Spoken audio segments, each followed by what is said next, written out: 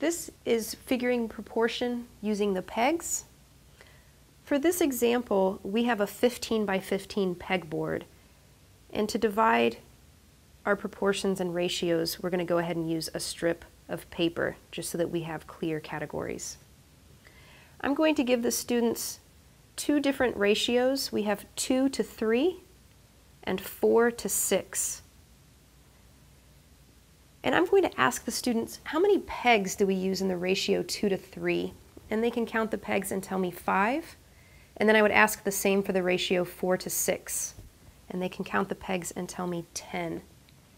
From that information, I can ask the students if these ratios are proportional. And they can tell me yes, and then I would ask them to show me how they know that. And what they can do is make our columns.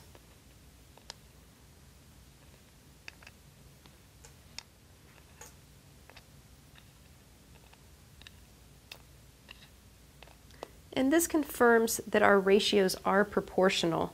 And I can tell the students that if the pegs look like they all fit into the same ratio, that they are in fact proportional.